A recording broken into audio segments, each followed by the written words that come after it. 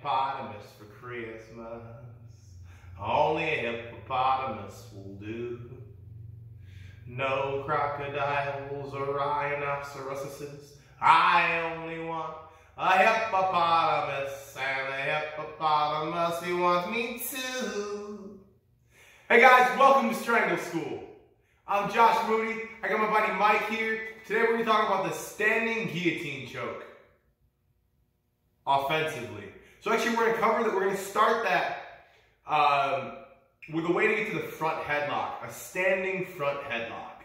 So we're to start standing, we'll get to a front headlock, and then we're going to use that to transition to an, into a standing guillotine.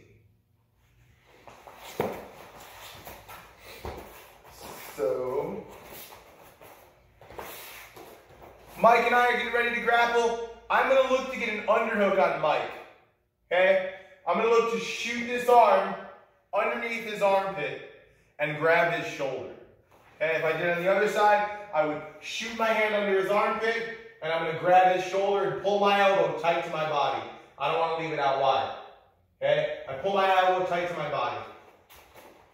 Okay? Maybe I get collar tie first and I'll use that to punch myself into an underhook.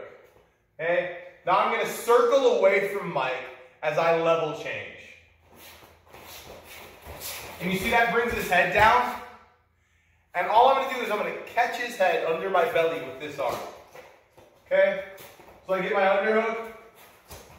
I start to circle and level change. And as his head comes around, I tuck his head beneath my belly. And I'm holding this, I'm holding his chin and his ears trapped by my forearm.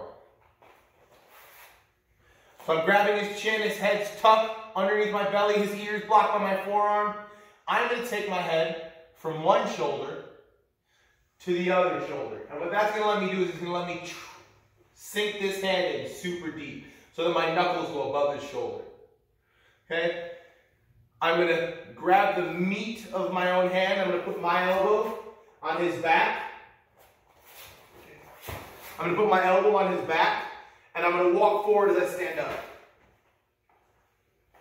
Okay? So, one more time. I get an underhook on Mike. I back up in circle so that his head comes down underneath my belly. Okay? I'm going to take my head from one shoulder to his other shoulder.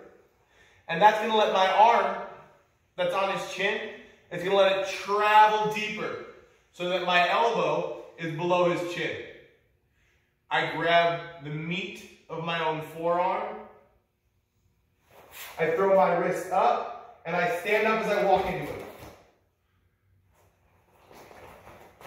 One last time.